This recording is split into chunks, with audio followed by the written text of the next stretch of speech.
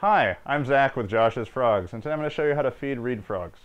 In the wild, these frogs are nocturnal and consume a wide variety of small arthropods, including insects, spiders, and the like.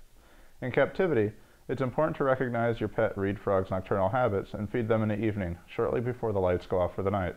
This way, the reed frogs will make short work of any prey items before the insects have a chance to remove any vitamin mineral supplement that they've been dusted with. At Josh's Frogs, we primarily feed crickets.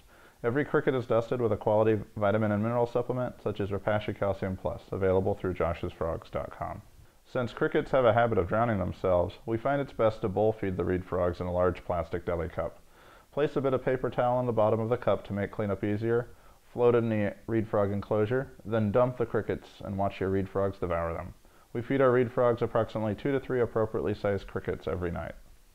If you're looking for more information on caring for frogs or healthy captive bred frogs, please visit joshsfrogs.com.